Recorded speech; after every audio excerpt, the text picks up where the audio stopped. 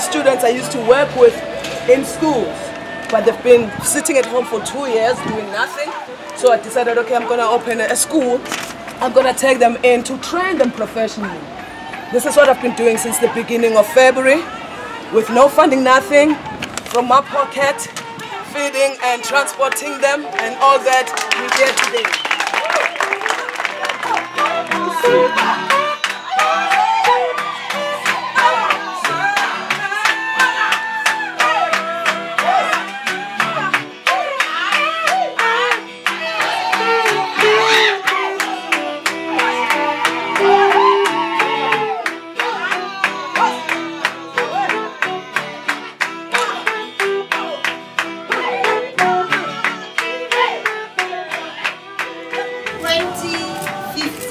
Going to be the year we're going to invest in unleashing the talent in each and every one of the young people of South Africa. Can you imagine what kind of country we will be?